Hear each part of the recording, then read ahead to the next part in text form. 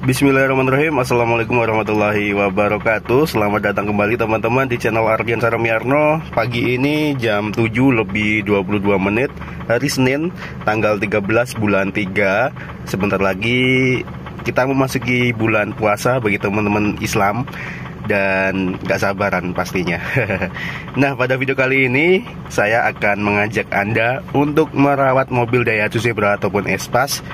Kurang lebih sama komponennya jadi saya ingin membersihkan bagian apa ya rem ataupun kaki-kaki belakang mobil.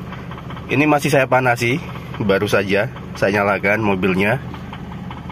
Dan saya rencana mau bawa maju ke depan nih mobilnya agar lebih leluasa ya karena di sini itu agak sempit di belakang itu. Jadi saya akan mengajak Anda kali ini untuk merawat mobil Zebra ataupun Espas yang sangat gampang banget dirawat. Kita bisa oprek sendiri.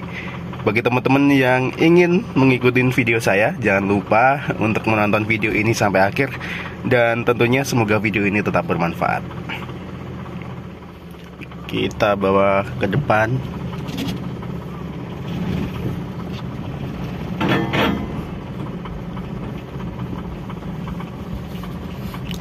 ini gunain satu tangan aja. Karena kalau semisal mobil PS ataupun nggak PS itu bedanya cuma waktu berhenti aja. Kalau pas jalan itu ya sama rasanya.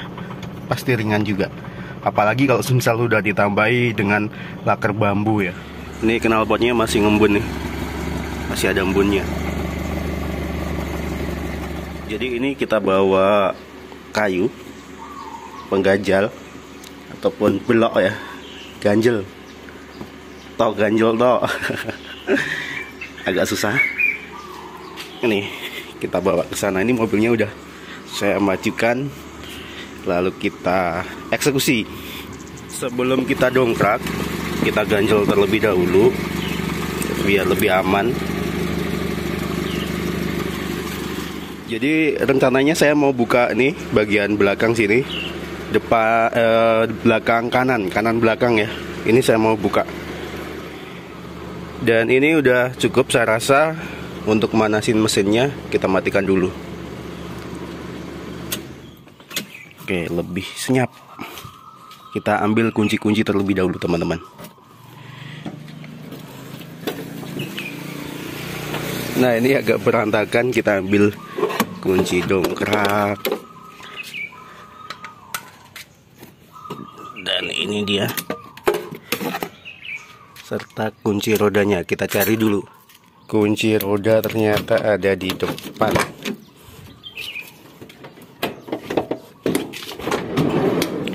Nih ada di sini.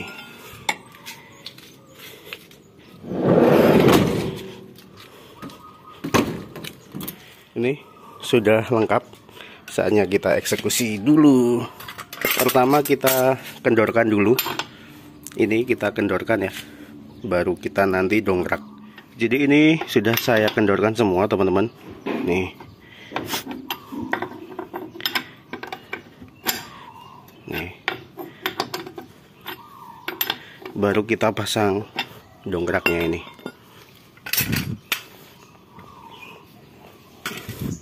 Selesai saya dongkrak selanjutnya kita lepas nih rodanya Oke teman-teman ini udah terlepas semua baut rodanya sekarang kita tinggal keluarkan ban.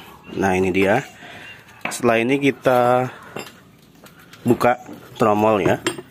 Ini kita buka lalu kita cek bagian dalam tromolnya. Karena di sini tuh kemarin saya ganti bautnya kalau nggak salah. Dan itu kepanjangan agak seret ini juga kita coba cek sekalian kita bersihkan. Sebelum kita buka tromolnya ataupun roda belakang jangan lupa ini tidak diaktifkan teman-teman handremnya dan ini toolbox saya yang sangat sederhana.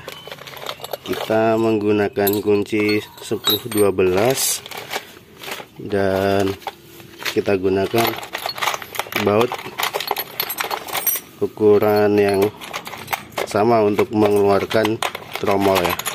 Kita cari dulu. Nah untuk mengeluarkan tromol kita gunakan baut 12 ukurannya. Dua buah. Jadi untuk mendorong si tromolnya ini teman-teman.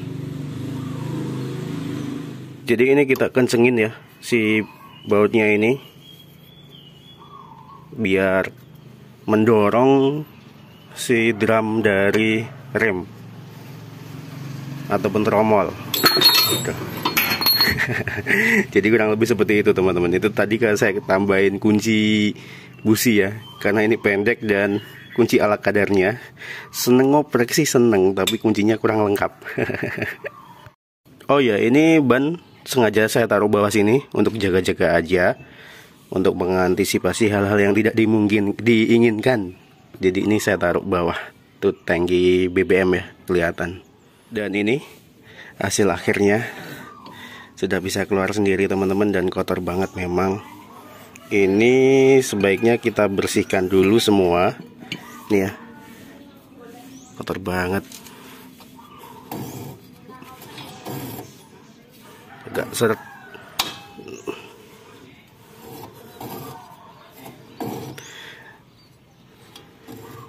Kita bersihin dan kita benerin ini. Jadi ini kemarin tuh saya masang baut roda yang ini teman-teman. Ini yang baru nih. Dan bagian belakangnya itu terlalu panjang. Belakangnya itu yang ini. Ini terlalu panjang. Jadi ini nggak bisa apa ya masuk semua. Karena memang ini bagian ininya terlalu panjang. Akhirnya nih natap. Natap ke bagian sini. Dan ini saya kasih tambahan bindrot ya. Saya akali biar nggak lepas karena sering lepas kemarin nyangkut. Ini barangkali nanti saya pengen ganti juga. Ini sebenarnya harganya murah banget nih buat roda seperti ini. 5 ribuan atau 10 ribuan ya. Pokoknya murah lah nggak nyampe 50 ribu satunya pokoknya. Ini yang aslinya kan seperti ini. Ini aslinya pendek dan ini panjang ya. Jadi yang panjang itu nggak pas punyanya Daihatsu Zebra ataupun Espas itu pendek seperti ini. Panjang pendek. Bagian ini ya ulirnya bukan ulir sih. Pokoknya ini yang saya pegang dengan jempol ini. Nih teman-teman bisa bedakan ini panjang ini pendek. Dan yang saya pasang ini ini panjang. Jadi bagian sini itu dia nyangkut tuh. Masih kelihatan ini ya kepalanya itu dia masih kelihatan. Yang ini enggak. Tuh ini kan rata. Yang ini kelihatan. Sehingga si kepalanya ini dia nyangkut ke bagian mekanisme dari remnya ini kampas remnya ini. Ini saya ganti lagi ini seharusnya. Gimana teman-teman? Gampang banget kan? Ini kita coba bersihin pakai sapu seperti ini. Nggak punya kompresor sih ya kalau ada punya kompresor disemprot dan untuk mengencangkan ataupun membuat rem itu kita pakem sebenarnya kita cukup apa ya menyemprotkan WD aja 40 ini di bagian mekanismenya di sini. Kita bersihkan semua dan ini ada semacam perpernya juga pegas-pegasnya ini. Ini kita bisa semprot-semprot dengan WD 40 teman-teman saya sempat ngelos remnya dan ini saya buka saya semprot aja dengan WD-40 kebetulan kemarin masih punya sekarang udah habis. Itu udah normal kembali. Ini kita lepas semua saya bersihkan. Jadi lepasnya ini gampang teman-teman. Gampang banget. Dan ini kemarin baru saya ganti belum ada satu tahun master rem bawah. Kemarin silnya bagian sini itu dia bocor ya. Ini saya ganti 70-an ribu harganya master bawah saya pasang sendiri. Nih ini aman ini. Jadi kemarin yang nyangkut itu ini ya bagian penguncinya ini yang saya lepas ini teman-teman. Ini nyangkut kena kepala dari baut ini sehingga penguncinya yang modelnya kayak paku ini ini dia lepas. Dan tentu nggak enak ya karena dengar suara bunyi dari bagian belakang sini. Ini akhirnya saya kasih pindrat seperti ini. Ini kawat ini biar nggak lepas. Nih. Kuncinya ini di bagian sini. Sini. Lubang ini ya.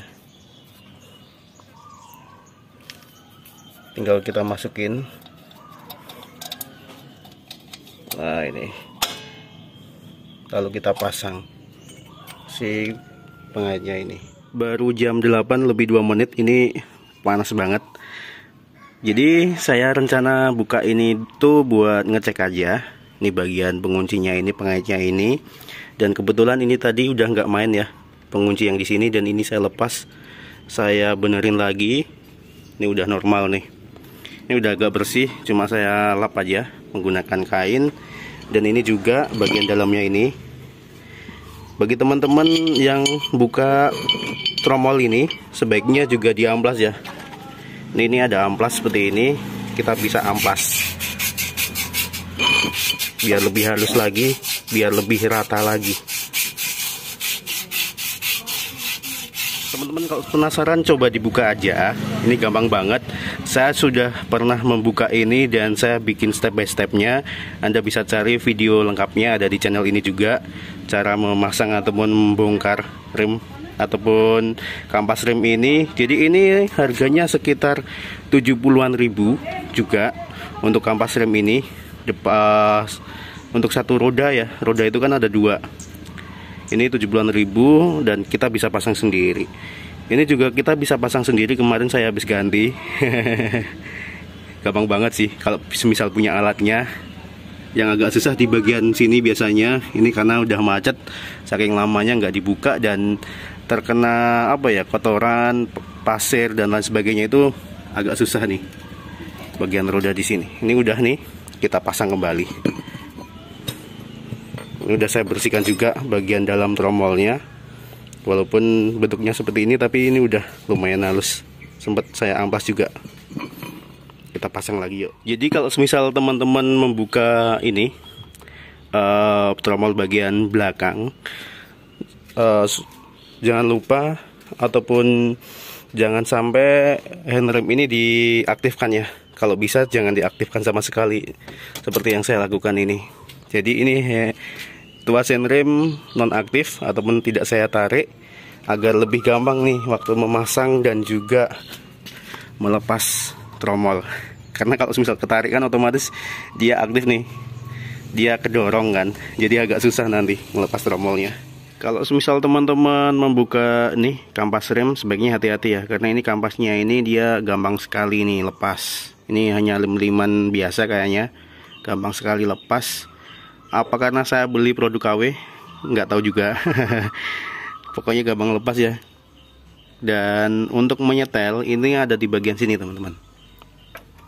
Kalau semisal agak susah dimasukkan tromol anda ini sebaiknya dicek nih di bagian sini nih. Ini yang saya congkel ini ya. Ini adalah setelannya. Jadi setelan kampas rem itu ataupun tromol belakang itu hanya ini aja. Ini kalau misal kita dorong kita masukin seperti ini. Ini nanti bakal gampang dimasukin tromolnya ini. Kalau misal teman-teman kesulitan memasukkan tromol ini coba cek setelan di bagian sini. Dan jika teman-teman handremnya kurang begitu pakem coba cek nih setelan yang ada di sini tadi. Ini ya setelan ini yang saya pegang ini. Nih ini coba dicek dimajuin atau dimundurin ya. Kalau misal dimajuin atau kita tekan itu dia agak kurang pakem barangkali. Nah ini. Seperti ini. Ini dimajuin itu dia nggak begitu main. Setelahnya ada di sini. Oke teman-teman. Jadi kalau misal kita mau masukin tromolnya ini agak kesulitan. Nih ini agak kesulitan nih nggak bisa masuk ya. Kita bisa setel dulu ataupun merubah setelannya yang ada pada bagian sini. Ini ya. Ini untuk nyetelnya cuma ini aja. Nah ini. Ini loh. Yang saya tusuk ataupun gunain obeng ini. Nah setelahnya di sini. Teman-teman bisa setel ini. Dimajuin. Nanti dia akan turun kita coba masukin lagi tromolnya jadi kalau teman-teman agak kesulitan itu bisa dirubah dulu setelahnya. Ini masih agak susah ya masuknya. Kita setel lagi. Kita majuin. Nih majuin ya. Jadi ke dia dorong ke arah sana ke arah depan. Nah ini kita masukin lagi nih oh ini masih agak susah lagi. Kurang banyak. Ini seharusnya udah ini. Kita coba sekali lagi.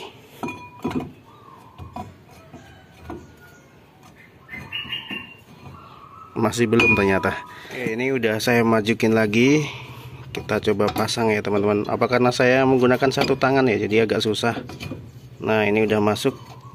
Nah ini udah masuk dengan gampang. Sip tinggal kita pasang roda lalu kita kencangkan. Oke ini udah masuk rodanya. Kita pasang bautnya. Baut roda. Masangnya uh, berlawanan arah teman-teman. Saat ngancengin juga sama. Baut roda sudah terpasang semua. Saatnya kita lepas dongkraknya ini ini dongkrak sudah saya turunkan nih kita kencangkan sekali lagi nih baut rodanya dengan kunci roda. Oke, jadi ini udah selesai, udah kelar semua, roda sudah saya kencangkan. Jadi sampai di sini dulu teman-teman untuk video kali ini. Jangan lupa bagi Anda yang memiliki video ini untuk menekan tombol like dan share video ini sebanyak-banyaknya. Jangan lupa juga bagi Anda untuk subscribe ke channel Ardian Saramerno bagi yang belum dan nantikan terus video saya selanjutnya. Terima kasih. Sampai ketemu lagi di video saya selanjutnya. Wassalamualaikum warahmatullahi wabarakatuh. Tangannya mantap.